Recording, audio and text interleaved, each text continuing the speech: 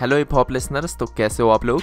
तो first update जो है वो कृष्णा की साइड से है। तो कृष्णा की तरफ़ से एक स्टोरी आती है तो इसमें वो लिखते हैं be aware of pages selling cheap replicas of my teddy camouflage cap calling it a beef cap I have not authorize this page to sell any merchandise in my name and I do not approve of anyone using my work name to sell fake merchandise if you see anyone selling beef cap please tell them to take it down and do not buy any merchandise from them तो यहाँ पे कृष्णा जो है वो चश्मीश के बारे में बात कर रहे थे, जिन्होंने अपने स्टोर पे कैप लिस्ट करी थी, जो कि आप लोग को कृष्णा के काफ़ी गानों में देखने को मिली है। तो एक्चुअली उस कैप की जो प्राइस है वो है 8500 और चश्मीश के स्टोर पे वो 500 में मिल रही है। तो चश्मीश के पेज पे भी एक कमेंट करा था कृष्णा ने और कुछ ऐसा लिखा था। Honest opinion this page is profiting from the same artist they post trash anonymous opinions about by selling unauthorized cheap replica merch in their name. Requesting you guys please do not buy any merchandise from this page तो इसके बाद से चश्मीश भी इस चीज़ के ऊपर reply करते हैं और कुछ ऐसा कहते हैं। यस yes, मैं अग्री करता हूँ उस चीज़ को कि it's inspired by an artist cap but वो बिल्कुल भी same to same cheap replica या कोई भी एंगल हमने जानबूझ के कॉपी नहीं किया एकदम डिट्टो नहीं छाप दिया।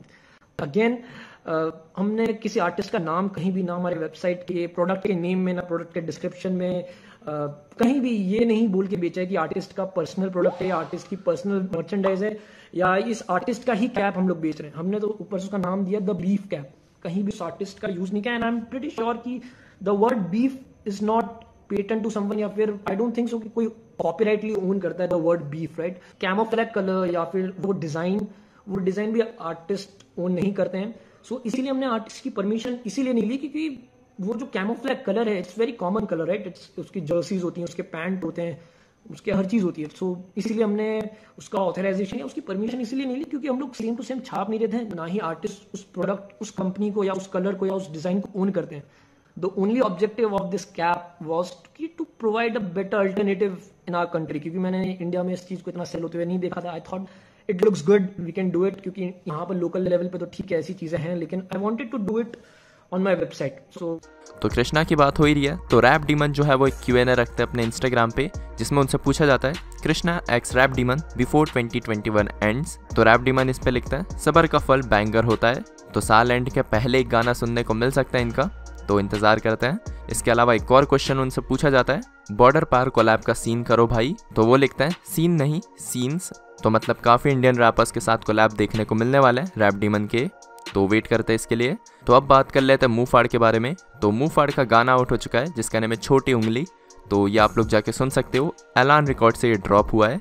तो अब बात कर लेते हैं बोहेमिया पाजी के बारे में। तो बोहेमिया पाजी का जो अजनबी ट्रैक आने वाला है, उसका पोस्टर ड्रॉप हो गया है। और ये जो गाना है, वो आज शाम को ड्रॉप होगा छः बजे गीत एम के यूट्यूब चैनल से।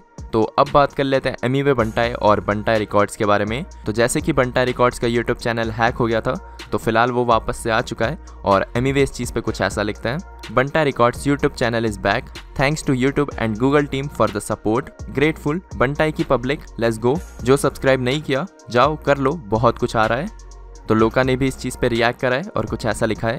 पे करके हैक कराओ या करो पेड प्रोमो ऑर्गेनिक टीम है, अपन झेल लेंगे दोनों। Banta records back on YouTube तो अब बात कर लेते सीधे मौत और ऑनकोर के बारे में।